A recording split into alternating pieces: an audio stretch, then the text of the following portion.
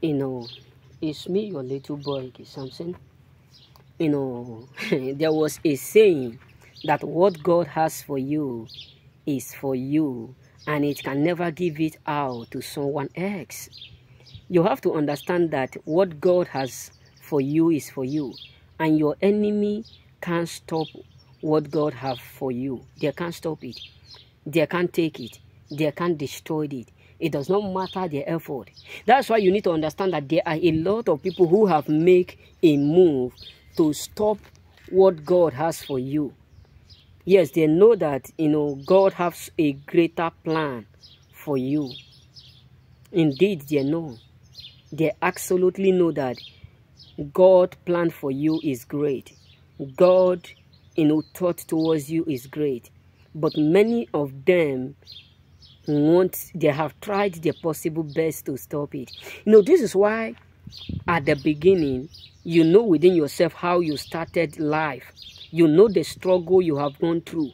You know the difficulties. You know, this is why sometimes at the at the beginning, the enemy always tried to, you know, to throw some certain storm in our life as a choosing.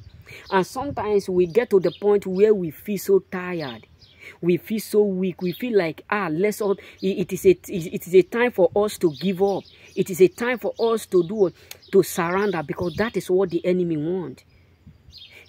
And if you are at that point right now or you are going that that stage right now i'm encouraging you to keep pushing. To keep pushing.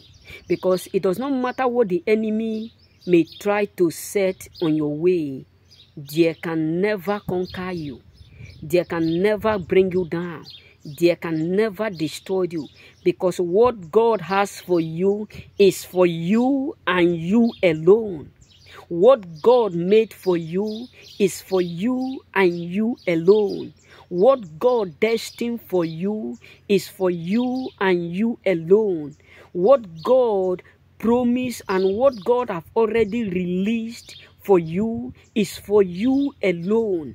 So you have to understand that let them gather. Look at it. Nobody ever believed that God was arranging for Esther to become a queen. Hey God, am I talking to someone? Nobody ever believed that God was preparing Esther to become a queen.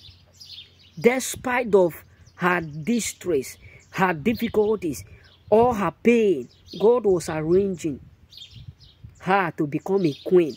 So you have to understand that the tougher it is, the greater it is. So you need to understand as a choosing that people will try to do to stop you. But what God has for you, hey, hey, Ikumota, eh, is for you alone.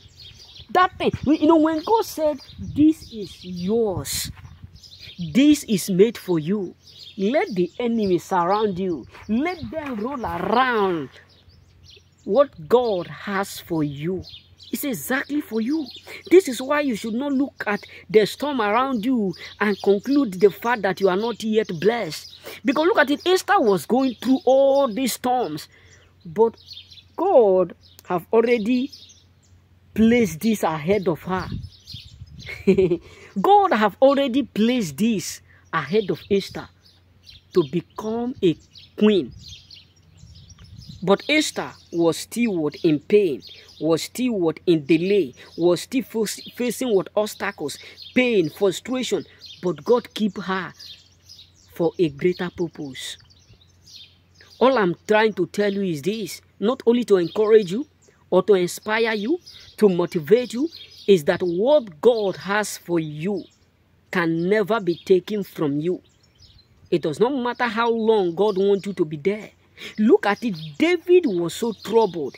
Joseph was so troubled. But none of what God has for them was shared to others. God keep it. He was waiting for them to arrive. He was waiting for the perfect moment to give it to them. He was waiting for a perfect season to give it to them. So what God has for you is for you alone. Don't look at people who are trying to attack you. Don't look at people who are backbiting you. Don't look at people who are mocking at you. Don't look at people who are ganging up against you. Always know that there is something that God have kept for you, which is only for you. Remain blessed.